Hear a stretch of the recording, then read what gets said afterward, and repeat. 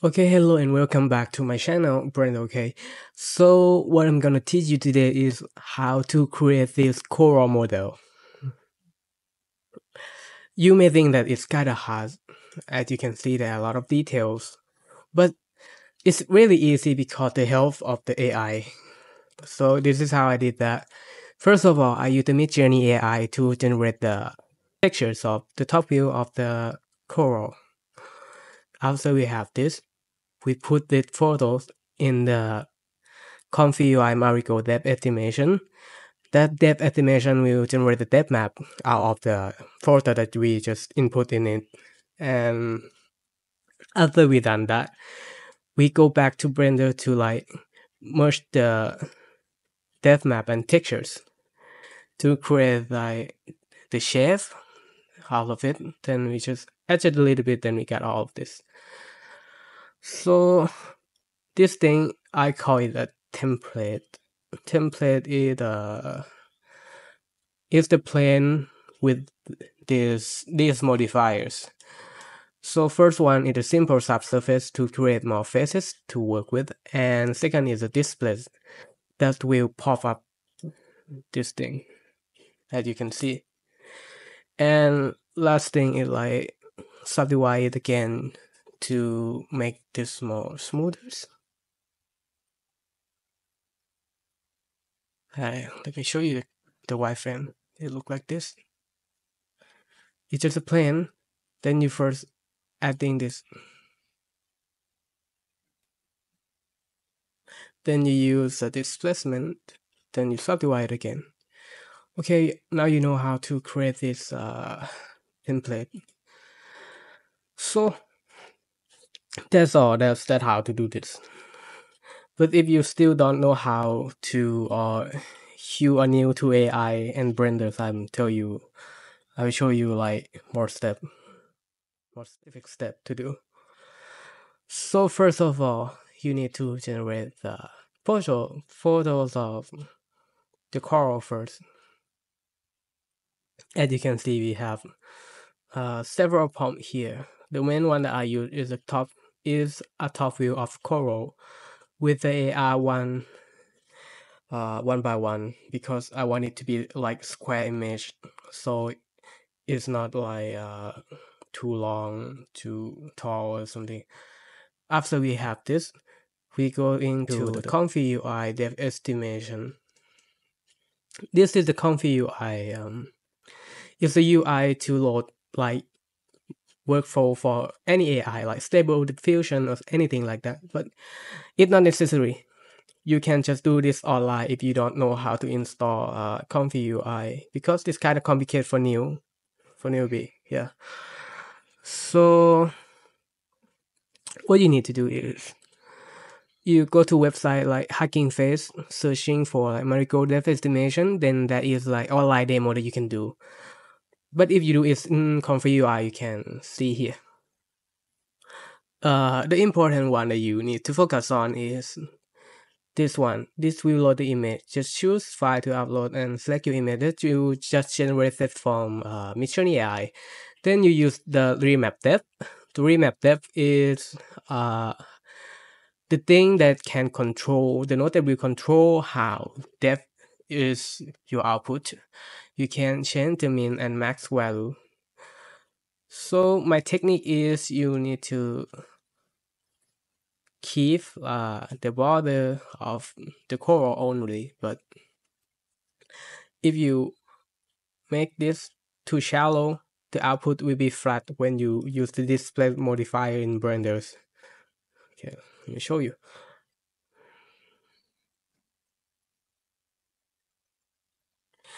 This one uh, is you can see the ground, right? So it's really hard to work in Blenders. But if you like lower the value of the min minimum values, if you like get rid of all the ground, if you search the depth of the map. I don't know what what causes. Okay, after you have this, the border should be like a little bit of gray colors, like darker, because if all of this is like white or bright, everything will look flat. This is like the dimension of the depth. After that, you right click on this save images where you prefer, then you go back to Blenders. And yeah, use the template that we just did by stacking these modifiers. And after you have the template, you can use the add-on called Im add image as plane to like add the image here. After you have that, you click on the image. You click on the template file that we just did. You pressing Control Alt on your keyboard and link materials. Eh, no, no, no. Sorry. Uh, Control Alt and copy the modifiers.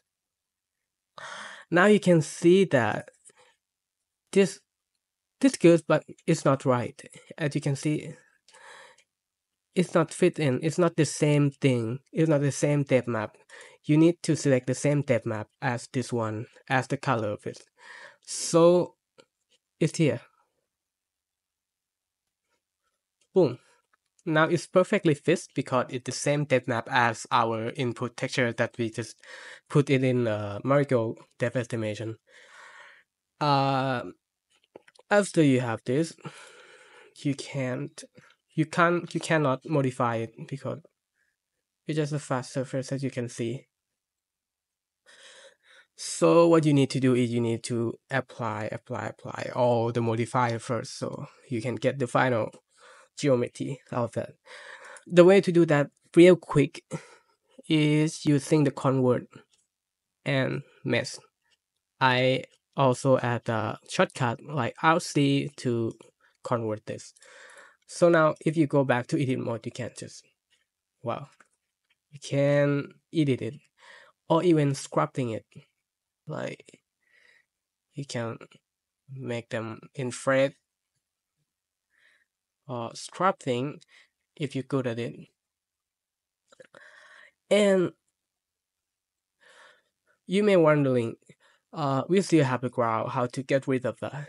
It's really easy. Just just go to like right wheel by or you can click on the X axis like here. Now you can see the flat surface.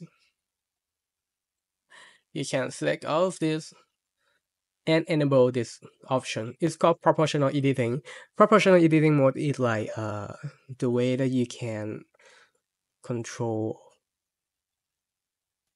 the other point of the geometry when you move something. It's like going together. Uh, okay, that's it.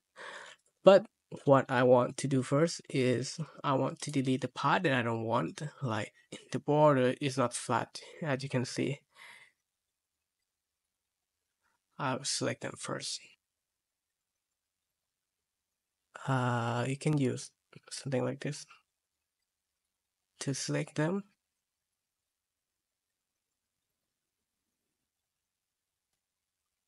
Then delete it.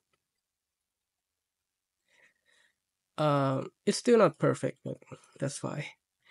Now you use B to select uh, the ground of the throughout this model. Select all of it, just like this. Then after you have this, you can resize. Can resize, reshape, moving the uh, foundation of this coral as you like. Now you have the corals. But it's okay now, but you can add more like micro detail by using the bump, height map, and normal map. You may wondering, we we got only uh the color, the albedo map. What should you do to add like the height map and normal map really easy? The answer is using the bump node and connect the colors to the height.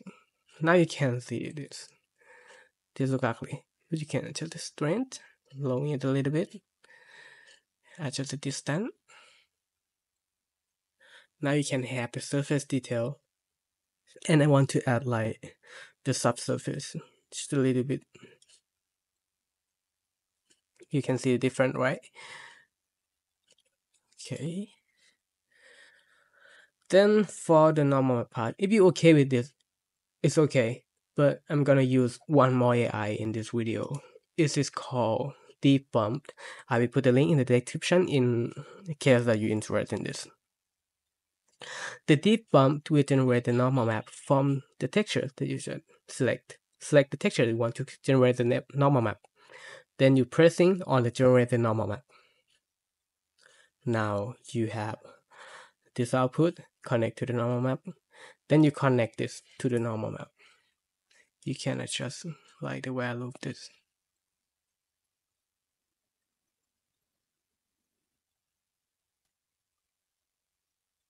Boom.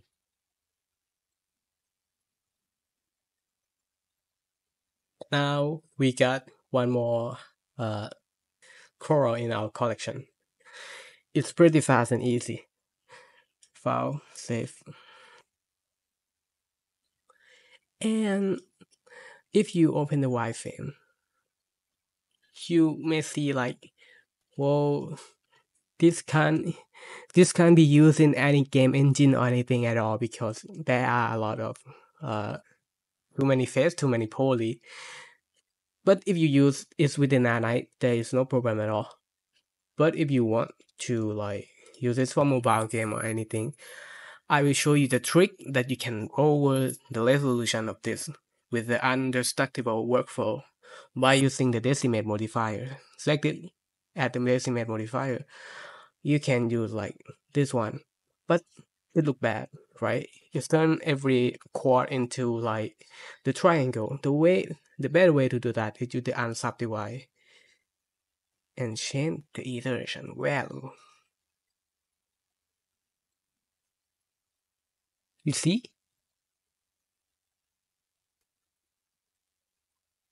This can lower the resolution or like the size of the amount of faces really quickly and in quad too. Pretty good, right? you can't do this with all the output that you just create because all face is like quad. There no twist at all because it's just like uh the plane with a lot of subdivide and displacement. And if you see this in the solid mode, okay, I'm gonna this one a wireframe, you can see that it is full of the surface detail Thank you for the magic of the AI to do this. And thank you you guys for watching to this part. If you happy or you think you can use you can do uh, use something in my clips or your work for anything, uh, please subscribe and like my videos. Thank you so much for watching and hope you guys have a great day. Thank you so much. Goodbye.